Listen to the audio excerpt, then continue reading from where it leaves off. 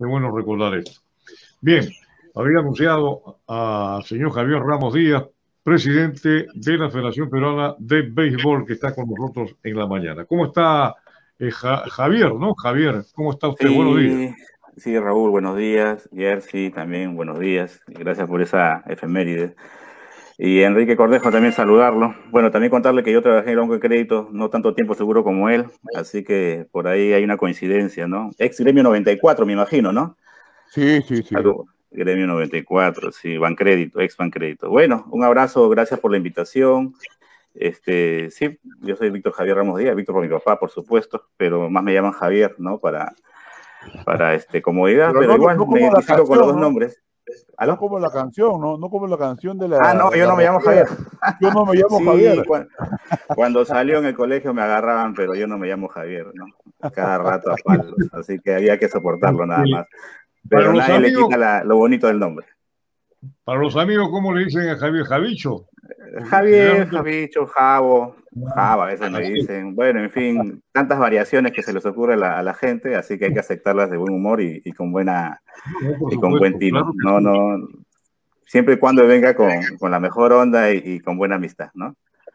Claro que sí, con la mejor intención. Claro que hay otros que es eh, señor, otra este, connotación. Y eso a nadie le gusta eso. Bien, Javier. sí. Este, bueno, realmente hablar en estos momentos de cómo se está trabajando el deporte, cómo se están desarrollando las diferentes federaciones, con es complicado, muy complicado la verdad. Y no podemos ponernos en el plan de, exigentes en el extremo, porque la verdad, ¿a quién se le puede exigir ahora a un deportista, a un dirigente? Es decir, proyectar para que una vez que pase esto, poder realizar. Hay campeonatos frustrados, los mismos deportistas que no pueden practicar como tiene que ser. ¿Cuál es el, pensamiento que en este momento tiene Javier Ramos como presidente de la Federación Peruana de Béisbol? Bueno, eh, como tú lo has dicho y también Carmen Cuón lo comentó en su momento, es difícil, ¿no? Ahora hacer este deporte en, una, una, cancha, ¿no? O sea, de béisbol, de rugby, softball o todas las que hayan, fútbol. Eh, sí, pues venimos de un año eh, muy activo, como fue en el 2019 con los Panamericanos y un envión tanto de, eh, de presupuesto como de actividad física impresionante, a pasar a un año 2020 definitivamente seco de deporte, ¿no? para nosotros también ha sido complicado, creo que todos hemos pasado la misma, tenemos el mismo problema, ¿no? Cómo adaptarnos a la nueva situación eh, de la pandemia. Definitivamente eh, los clubes son los que más eh, han, sido afectados por esto, ¿no? No hay actividades de, campeonato entre clubes.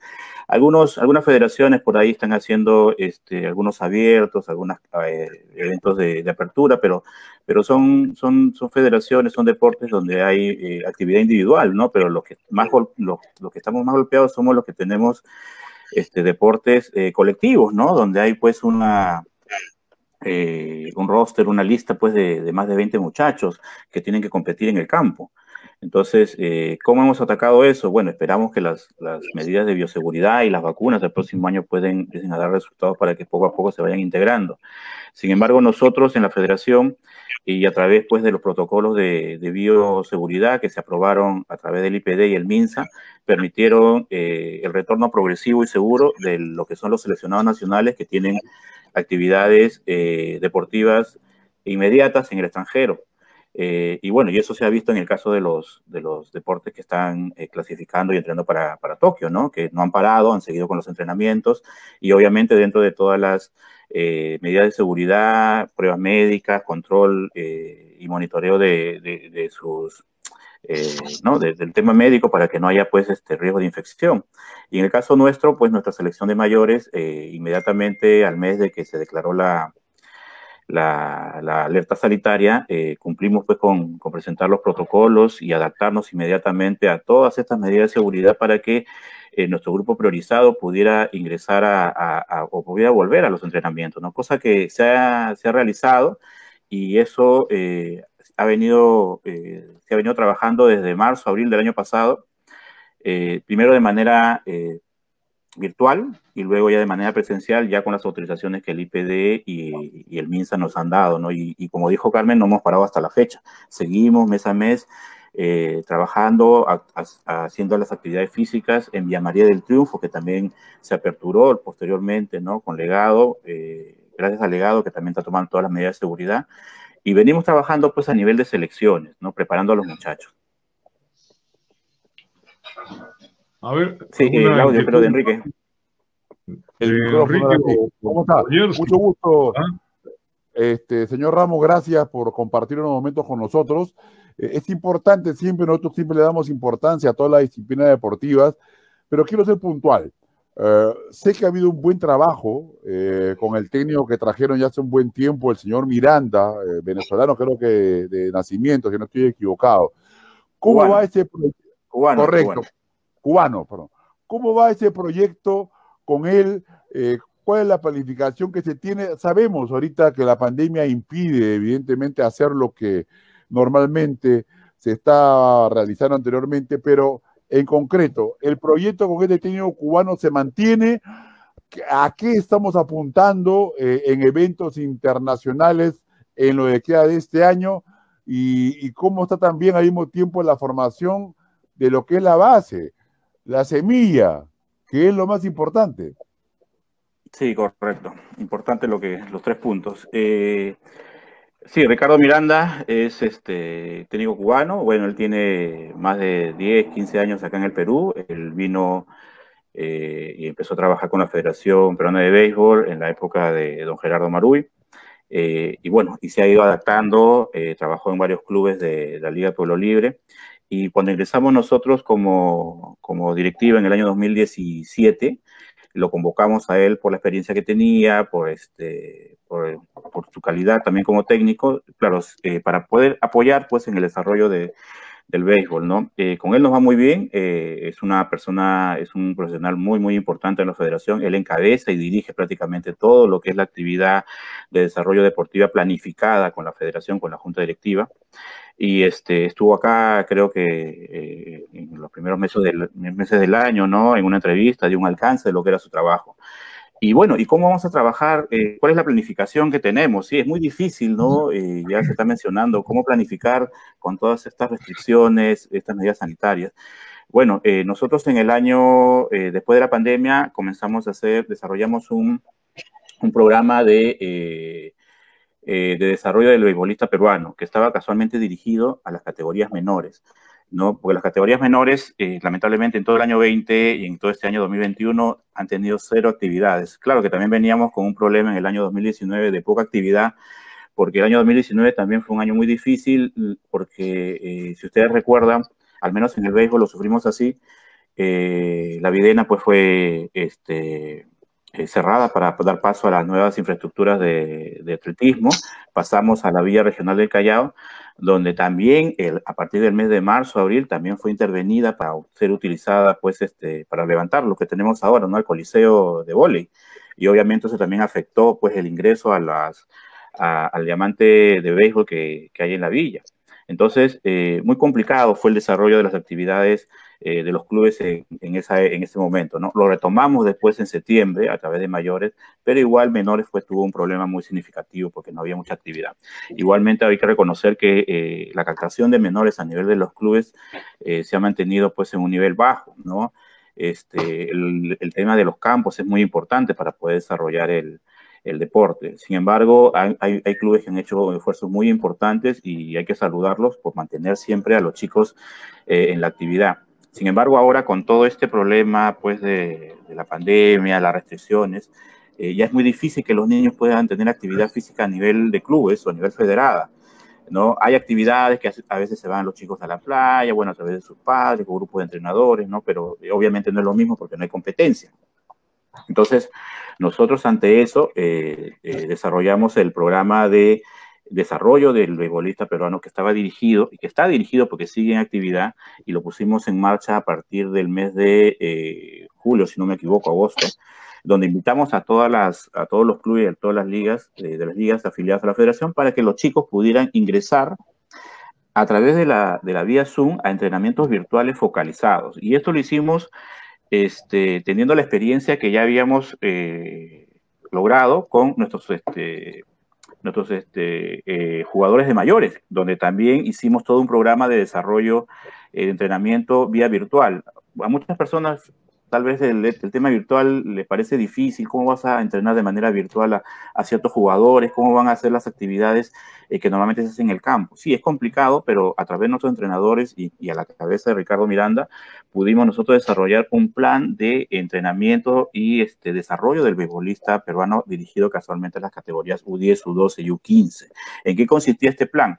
Este plan, y todavía consiste, ¿no? En que cada... Eh, entrenador de la especialidad, sea lanzadores, receptores, de cuadro, tenían a su cargo un grupo de chicos que obviamente habían sido eh, eh, identificados en las posiciones en las que juegan en sus equipos o las que quieren jugar. Y básicamente era eh, un entrenamiento virtual, obviamente, pero eh, focalizada en la especialidad de cada muchacho. El béisbol tiene la particularidad, pues, de que hay varias especialidades, ¿no? O varias, posiciones donde hay un entrenamiento especial, ¿no? Los lanzadores, pitchers, los catchers, los receptores y los, este, los jugadores que están en los cuadros, sea, el infield o el outfield. Entonces, cada uno tiene un entrenamiento muy, muy especial, ¿no? Entonces, si queremos desarrollar pitchers, lanzadores con cierto nivel de técnica, capacidad, potencia, obviamente los pusimos a todos los que calificaban en esa especialidad con un entrenador de la especialidad que los, que los entrenó de manera virtual, ¿no? Eh, para que se desarrollen de esa manera. Y no solamente en el aspecto táctico, sino también en el aspecto físico. Muchos de los chicos, y también lo vemos en nuestros seleccionados nacionales, que en esa primera etapa de la pandemia tuvieron que hacer desarrollo a través del Zoom, han venido desarrollando eh, su, su, este, su destreza, el desarrollo muscular también ha sido muy importante, ¿no? Hay que rescatar que si no hubieran hecho actividad física vía Zoom, ¿no? En tres o cuatro meses los chicos, pues, eh, como a todo mundo nos ha pasado, iban a subir de peso, iban a bajar de, eh, de capacidad técnica, física, y obviamente eso a la larga iba a generar, pues, este, lesiones, ¿no? Porque no es lo mismo regresar a un entrenamiento en campo, estando en una actividad sedentaria o no hacer nada, que después de hacer menos actividad física. Entonces, eso es lo que hemos inculcado y eso es lo que se ha hecho con las categorías menores. Empezamos con 116 chicos en esta en este programa de desarrollo de beboitas peruanos, eh, me parece que se han mantenido y hay que rescatar o hay que aclarar que de este grupo casi el 30-35% es extranjero. No, no todos son peruanos, porque hay que reconocer que la migración venezolana y de otras partes ha hecho pues que muchos niños que estén acá y que les guste el deporte, sobre todo el béisbol, se hayan integrado a estas a estas actividades que han sido desarrolladas por la federación de manera gratuita, vía eventual, y hemos eh, trabajado con un staff de entrenadores, venimos trabajando con un staff de entrenadores que han sido capacitados para eh, impartir los conocimientos que ellos ya saben. A ellos no se les ha enseñado qué es lo que tienen que hacer porque ellos son profesionales, son entrenadores y conocen. Javier, antes de continuar usted con el encargo que vamos a seguir con la, claro, Me queda, me queda una, una, pregunta importante, no solamente una, porque mis compañeros seguramente tienen otra. Seguro. Vamos a dar culminada nuestra, nuestro, no nuestro programa, sino la comunicación que tenemos con Perfecta Radio en los Estados Unidos. A ellos, a Perfecta Radio, le agradecemos por haber estado con nosotros una vez más en esta mañana y por supuesto retornamos con ellos el próximo lunes. Con, con Super Deporte continuamos en los siguientes minutos en todo el mundo. Gracias, Perfecta Radio, y hasta el próximo lunes. Muy bien. Bueno, entonces eso es lo que hemos tratado de hacer con los niños. Perfecta Radio te siente.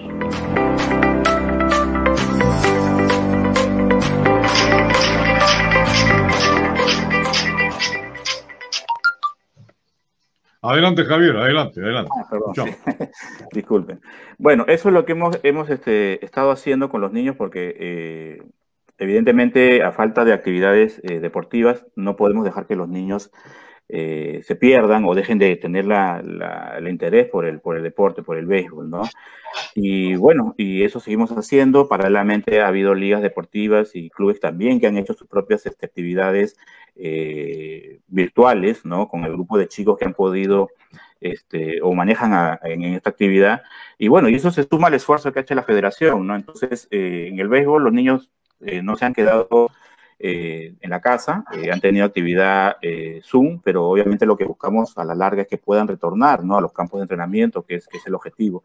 Pero mientras tanto tenemos que esperar pues las facilidades y las autorizaciones que nos pueda dar el gobierno. Mientras tanto los niños no pueden, no pueden retornar, ¿no? Pero nosotros seguimos con eso.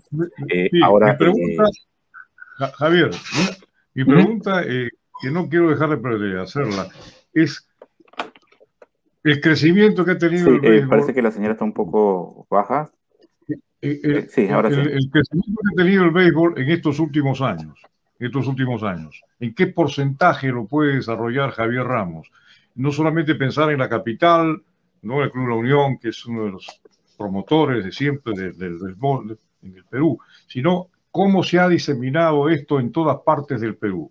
¿Cuántos clubes conforman en estos momentos la Federación Peruana de Béisbol.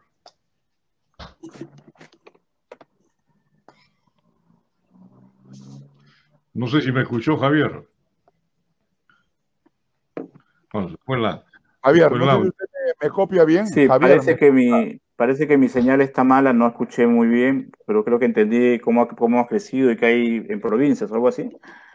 Exacto, la pregunta es cómo se ha desarrollado en estos últimos años el béisbol en la práctica, no solamente en la capital, ¿no es cierto?, sino en todo el Perú. ¿Ha habido crecimiento, desarrollo del béisbol? ¿Hay más practicantes, más deportistas interesados en la práctica de esta disciplina? Sí, este. Ya, aló, sí, eh, ¿me escuchan bien? Mi señal parece que está un poco mala. A ver, a ver si si puede. Este, Raúl, Raúl, permítame. Lo que pasa es que. Ha sido un batazo, ¿ah? ha sido un batazo fuera. No, ha sido, muy, ha sido un batazo. ¿Sí? No, sí, lo que, este, Raúl, si me permite, lo que pasa es que hay una diferencia del internet de unos tres o cuatro segundos con lo que contesta el señor Ramos. Hay que esperarlo solamente un momentito. Señor Ramos, sí, adelante, puede usted continuar. Sí, creo que ya la señal está mejor. Sí, sí, eh, gracias Raúl. Entendí algo así como que eh, del crecimiento del béisbol, qué actividades se han venido realizando y este, en provincias también creo algo así. Sí, en la eh, provincia, ¿cómo se ha desarrollado en estos momentos? ¿Ha crecido la práctica del béisbol a nivel nacional? Bueno, eh, mm, estadísticamente la federación tiene eh, en Trujillo una, eh, una liga que ha venido haciendo actividades internas, la Liga de Trujillo, y también en Arequipa, donde ha habido mucha actividad eh, de béisbol de mayores y también de menores a través de, un grupo de jóvenes ¿no? que siempre comparten en, el Facebook. pero lamentablemente nosotros a nivel de federación no, no hemos llegado hacia ellos, ¿no? en Arequipa sobre todo, eh, las actividades que se hacen, si bien las conocemos, porque hay, hay siempre alguna comunicación, son actividades que hacen, eh, que propiamente son realizadas por la Liga de Arequipa, por la Liga de Trujillo y por los este, impulsadores, los dirigentes de esas ligas. ¿no? no nos hemos integrado todavía, este, digamos, de manera más, más, este, cohesionada, pero siempre hay actividades dentro de, de Trujillo y, de, Arequipa, que son las, las, dos plazas más importantes, creo, de, después de Lima, en el desarrollo de la actividad deportiva del béisbol. Eh, también hay eh, muchas personas extranjeras que están haciendo actividades en Chiclayo, si no me equivoco, siempre nos, nos, envían comunicación, eh, nos piden que podamos este, colaborar con algún material, a veces no tenemos esa posibilidad, pero siempre buscan la posibilidad de que también la federación llegue a ellos con alguna alguna capacitación, alguna programación de actividades las venimos teniendo en agenda. Este año es muy difícil de poder trabajar y esperemos que el próximo año podamos este, ayudar y apoyar en algo, ¿no?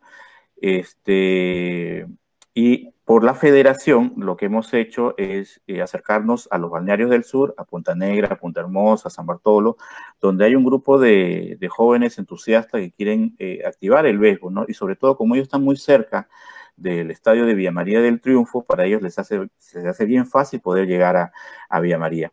Eh, el crecimiento del béisbol en provincias está en, esas dos, en esos dos polos que les digo, en Trujillo y en Arequipa, que esperemos que el próximo año podamos avanzar en algo. Trujillo ha avanzado mucho, tiene una liga eh, conformada, tiene eh, cerca de seis clubes, ¿no? de los cuales cuatro están formalizados este, en registros públicos, en RENADE. Y, este, y tienen la intención con esta también nueva junta directiva poder seguir impulsando de la mano de la federación la promoción del béisbol. En Arequipa también queremos acercarnos de esta manera, pero bueno, por el momento todavía con todo este problema de, las restricciones eh, no hemos avanzado mucho, ¿no? Por nuestra parte, como les digo, eh, sí creemos que el béisbol sí ha evolucionado, ha crecido. Eh, el IPD eh, agrupado a las federaciones en tres grupos de desarrollo, ¿no? El grupo 1, grupo 2, grupo 3. El grupo 1, ellos los tienen considerados como el grupo de federaciones que todavía están en un pequeño desarrollo o no, han, no tienen mucha actividad. Hay federaciones, lamentablemente, que a veces tienen una actividad muy, muy, muy poca, ¿no? El grupo 2 es aquellas federaciones que han, han demostrado crecimiento durante los últimos años y vienen desarrollando actividades a nivel internacional muy competitivas. Y en ese grupo estamos nosotros, el béisbol. Y el grupo 3 obviamente son, los, son las federaciones, los deportes donde tienen una actividad eh, relativamente alta, competencias este, internacionales eh, bastante frecuentes, como son ya eh, actividades de, federaciones que son más, más olímpicas, ¿no? Atletismo, bueno, softball está ahí, y otros este, deportes que tienen una actividad más intensa que, nosotros, que otras, ¿no? Y nuestro objetivo es poder llegar a ese grupo, ¿no? Vamos a ver cómo lo hacemos, porque este año es muy difícil, ¿no? Poder tener actividades internacionales, pero bueno, ¿no? Y retomando un poquito lo que decía con el sur, ¿no? Eh, estamos buscando hace poco, hace un par de semanas, este, tal vez un mes, eh, nuestro jefe de unidad técnica con el presidente de la Comisión Técnica de Menores se acercaron a, los, a, estos balnearios, Punta Hermosa, a Punta Negra, San Bartolo, para poder eh, desarrollar actividades de promoción y tengan en el estadio de Villa María la posibilidad de acercarse más. Nosotros también, además, el año pasado, antes de la pandemia, hicimos junto con Legado una, eh, una academia de verano. Bueno, en realidad Legado promocionó varias academias eh, en Vía María y en otras partes de los, este, en, otros, en otras infraestructuras que maneja, y nosotros como el béisbol eh, también participamos. nos agradó bastante porque tuvimos una participación de 180 niños, entre niñas y niños, y duró dos meses y algo, creo, toda este, esta capacitación. Y, vemos pues, que en el sur hay bastante potencial de desarrollo de la actividad beisbolística, ¿no? Entonces, tenemos un potencial para desarrollar, hay posibilidades de crecimiento, lo que necesitamos ahora es poder eh, tener una política eh, eh, de activación, ¿no? De, de, retorno a los campos para que, para que estos chicos puedan regresar ¿no? a la actividad física y desarrollar.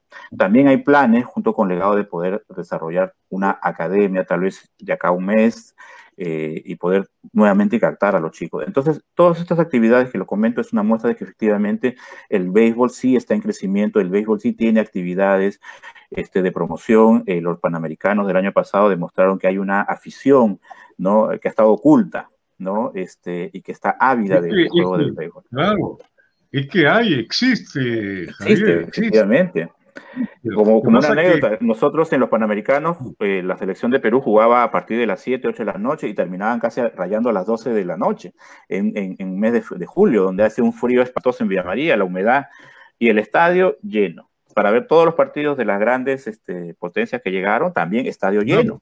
Entonces hay esa, esa, esa, esa afición que sí necesita y es la responsabilidad nuestra poder impulsarla, ¿no? Un poco difícil con los términos actuales de, de la pandemia, pero eh, tenemos ahí trabajando un plan con, con, la unidad técnica para poder... Hay que hacerlo, hay que hacerlo, Javier, hay que hacerlo, así, es, hay que, sí se puede. Aquí no hay nada que no se puede.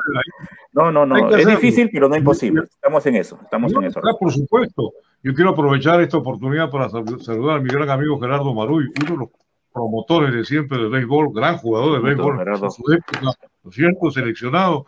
Gerardo ha sido siempre un luchador por estas disciplinas deportivas, del cual es un apasionado. Y, felicitar también a la gente de AELU, al Club La Unión, que es el promotor de siempre del béisbol en nuestro país. Y nos da mucho gusto esto de que haya crecimiento. Hay, cuando hay crecimiento es que sí, hay, el producto se está manejando. Hay que seguir trabajando en eso para que el béisbol tenga ese nivel, porque hay tantos jóvenes, tantos niños que les gusta el béisbol, le falta oportunidad, pues hay que dárselas, hay que trabajar para ello. Con pandemia y todo, seguimos adelante, mi querido Javier, y no hay que desmayarnos en, esa, en ese trabajo. Y, y, los clubes son la pieza fundamental de esto, ¿no? A veces los clubes dicen sí, pero hay, la federación a veces no activa eh, torneos, ¿no? Pero las circunstancias no nos lo permiten, pero tampoco no se les deja a ellos este, de lado y, el esfuerzo que hacen en difundir a través de sus asociados eh, el, béisbol es muy importante, ¿no? nosotros lo valoramos. Por eso es que estos programas que estamos activando eh, van en camino a eso, ¿no? También hemos activado un programa, estamos desarrollando un programa de este, prospectos U18, porque también nuestras categorías mayores obviamente van, van creciendo y necesitan un recambio. Entonces estamos también, todo es parte de un programa que, este, bueno, es de manera virtual, por decirlo de alguna manera, pero eh, estamos apuntando a retornar poco a poco a, los entrenamientos, ¿no? Eh, Javier, una consulta me quedó, una, consulta me quedó muy breve para ti y en el tema de gestión en cuanto a, la parte económica. Eh, es que te lo pregunto porque y, este es el, común denominador, a excepción del fútbol y en segundo orden el vóley, lo pongo así, y, ojo con un margen bien grande, ¿ah? El fútbol galopando lejos y el voleibol a, metros, kilómetros. ¿Cómo va ese tema? Porque es importante cómo sostener. No solamente entiendo que ustedes reciben una partida que debe ser pequeña por parte de la, del IPD para cumplir con sus gastos administrativos, pero para poder gestionar, ¿y por qué te hago esta pregunta? Yo y, Raúl con mucho más razón, recuerdo que, por ejemplo, en el atletismo teníamos a nuestro buen amigo Gustavo Cárdenas, cuando estaba en el karate como presidente pero el Rosario, actualmente creo que todavía sigue suspendido, pero sigue siendo presidente del Comité Olímpico Peruano, hacían hasta apoyadas este, actividades eh, para poder gestionar los viajes y algunos viáticos para los deportistas. ¿Cómo estás en ese aspecto, Javier? Bueno, eh, el año 2019 fue un buen año para todos, ¿no? Se dieron los recursos casualmente para poder este, eh, preparar a los, a los deportistas con miras a los juegos y obtener las medallas o una participación deportiva este, eh, resaltante, cosa que cumplimos. pero el año 2020 sí ya vinieron los problemas.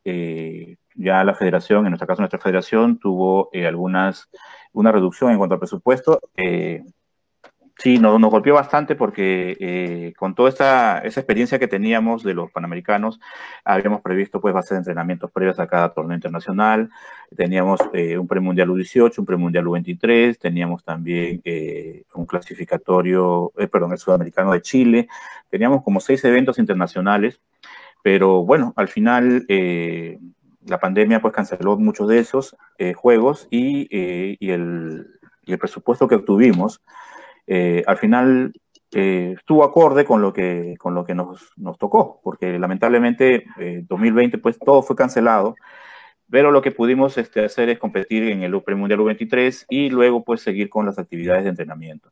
Ya este año 2021 ya la cosa ha sido totalmente eh, abismal pues respecto a otros años. Nuestro presupuesto ha bajado pues hace 10 años atrás, ¿no? Eh, y bueno, y tuvimos la, explicación, lamentablemente, que el IPD eh, no, ha, obtenido, y ustedes lo deben saber, los recursos provenientes pues de, las recaudaciones eh, por alquiler de, de, su infraestructura, la recaudación a nivel del Estado que cayó considerablemente en el año 2020, ¿no? Muchos de los recursos que, que ingresan pues son producto pues de los, de los impuestos que vienen de los casinos. Casinos, obviamente, el año 2020 no hubo, no hubo ninguna actividad. Entonces, eso golpeó bastante el presupuesto nacional, ¿no?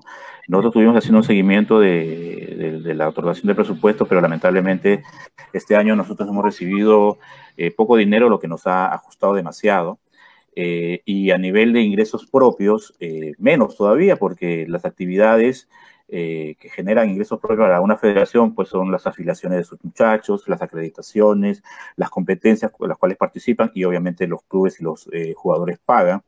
Entonces, años muy difíciles de recaudación, no solamente para la federación, sino para muchas. Claro, hay algunas federaciones que, como tú lo dices, Enrique, han optado por algunas actividades, de, ¿no? Tal vez de rifas, eh, tal vez pollada, no se puede hacer ahora, ¿no? Pero la recaudación ha sido muy poca, ¿no? Y, perdón, para terminar, el, el la asignación presupuestal de este año de la federación sí ha sido muy, muy limitada y se viene dando pues este, de manera parcial, ¿no? Que nos, que nos limita a desarrollar las actividades que, hemos programado. Sí, ¿Cuánto, ¿cuánto, es, perdona, ¿cuánto es lo que les ha dado el IPD para el desarrollo del, de su trabajo. Para este año nosotros hemos recibido una asignación de 523.100 dólares, soles, perdón, que no fueron dólares, soles. soles lo que, sí, lo que hace en su gran mayoría es cubrir los gastos operativos de los entrenadores, que los tenemos trabajando al 100%, mm, eh, tenemos actividades físicas, nuestra parte administrativa que es limitada, ¿no? Son tres personas, la junta directiva que obviamente eh, viene trabajando... Eh, de manera eh, constante como dirigente con el grupo. Y eh, por ahí estamos cubriendo pues eh, lo que son las medidas de bioseguridad, compra de, mascarillas, actividades, pruebas médicas que son muy importantes y que se lleva gran parte del presupuesto porque a los, a los jugadores hay que tomarles pues, ¿no? Las, este, las medidas sanitarias, el control de las actividades, perdón, de su, de su estas actividades, control médico, ¿no? Con pruebas antígenas, ¿no? Eh, que tienen periódicas. Entonces estamos hablando de, uno seleccionado, de un grupo priorizado de, incluyendo entrenadores y, personal de apoyo, que es limpieza y control, de cerca de 35 personas, ¿no es cierto? Multiplicado por cada 15 días por este, pruebas médicas que tenemos que hacer, bueno, es un dinero considerable, ¿no? Que sí, está presupuestado de alguna manera, y que, este, y bueno, y algunas compras menores, lo, bueno es que nosotros años anteriores tuvimos, eh, con los recursos que nos dieron, la posibilidad de habilitar nuestro gimnasio, comprar material deportivo. Legado también nos ha eh, dado eh, material deportivo que estamos utilizando, pelotas, bates. Entonces, nuestra federación, sin quererlo, guardamos pan para mayo, ¿no? Sin saber todo lo que iba a pasar, pudimos nosotros eh, agenciarnos eh, de material, pudimos este, habilitar nuestro gimnasio, pudimos habilitar y comprar maquinarias de entrenamiento y muchas cosas que en este momento posiblemente con, con lo, difícil que está la situación no lo podríamos haber hecho y al final los primeros perjudicados iban a ser nuestros deportistas. Sin embargo, estamos en esa parte bien, eh, bien asegurados y lo que tenemos ahora es preocuparnos por la salud de los chicos, de los deportistas y obviamente el pago de las remuneraciones de nuestro personal que, que trabaja constantemente con ellos. ¿no? Este, y esperemos que el próximo año las cosas cambien, ¿no? Ok, muy bien. Yo creo que ha sido bastante sustanciosa la entrevista, el desarrollo, cómo se ha llevado y los proyectos y la manera como se está manejando el béisbol. Mucha suerte en tu trabajo. Mucha suerte en tu trabajo. Siempre estaremos a disposición. Siempre estaremos a disposición para informar el trabajo que, desarrollas en la federación. ¿ok? Sí, gracias, Quería concluir una cosa, eh, si me lo permiten. Eh, bueno, este año, a través de la Confederación Sudamericana de Béisbol, eh, nos han dado la sede para el año 2022 del Sudamericano de Béisbol. Eh, que lo vamos a hacer en el Estadio Villa María del Triunfo. Nosotros ya hemos presentado dentro del presupuesto y plan de trabajo para el año 2022, que siempre se presenta en marzo. En marzo ya todas las federaciones presentan su, su plan de actividades del próximo año y hemos incluido este, este sudamericano dentro de nuestro presupuesto 2022 y nuestro plan de trabajo del año este, 2022, valga la redundancia, y lo hemos presentado al IPD. Entonces, eh, invitamos a, la gente que conoce, que, ama el béisbol, a que estén atentos a este, a este evento sudamericano el próximo año. Y bueno, y, hemos presentado también al IPD para que el próximo año al menos nos asegure pues, el, financiamiento de este evento, ¿no? Porque es un evento de, magnitud y sobre todo va a ser el primero después de los, del Panamericano de Lima 2019 que se realice en, en el estadio de Villa María del Triunfo, ¿no? Así que es una noticia que quería darles a todos de todas maneras. Gracias. Esto me recuerda, este, eh, Javier, hazme memoria, porque yo estuve en esa época trabajando en Canal City y transmitimos un campeonato sudamericano.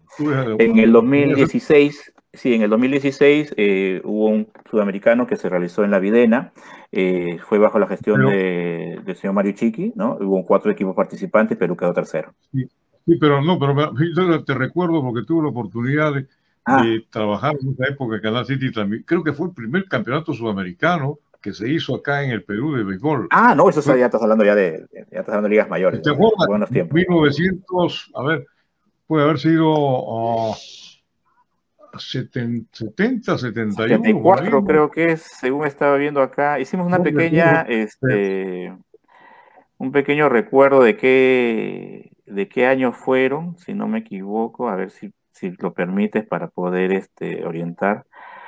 Sí, eh, fue en el año 61, en el año 71, en 1990 y el último fue en el 2016. Eso fueron cuando Perú fue sede. En el año 61, 1961, 1971 en el, en 1990 y la última ha sido en el año 2016. Sí, sí, sí, claro. sido las, yo, tuve, la fortuna de por primera vez. Ah, yo de béisbol lo conocía simplemente en referencia, pues no, porque lo había visto. Y me dieron el reto para narrar esos encuentros de béisbol. Para mí fue una experiencia realmente muy agradable. Quería recordar bueno, sacando la cuenta, estás bien muchachón en esos tiempos. ¿eh? Me jala la nostalgia de ver que tuve la suerte de hacer una transmisión del béisbol y, me alegra mucho. Ojalá que lo pueda hacer nuevamente. Ojalá que lo pueda hacer nuevamente. Sí. 2016, 2022 contamos contigo para, para que nos este, ayudes en la promoción y en, y en la transmisión, si no? puede dar el caso. Gracias, gracias. Javier. gracias, Raúl. Gracias, Enrique. Este, bueno, creo que ya quedamos los tres nada más. Y hasta una próxima oportunidad. Muy amable por la entrevista. Gracias. gracias. gracias a ti. ¿eh? Es nuestra obligación. Qué bien. Qué